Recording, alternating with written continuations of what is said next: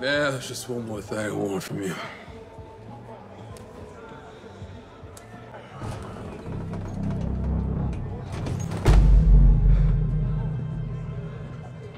What you want?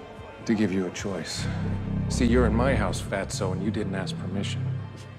So you and your friends can leave now, or they can carry your fat ass out in a bucket. Now I'll count to three. Bitch. Do you know who you're talking to? One. Two.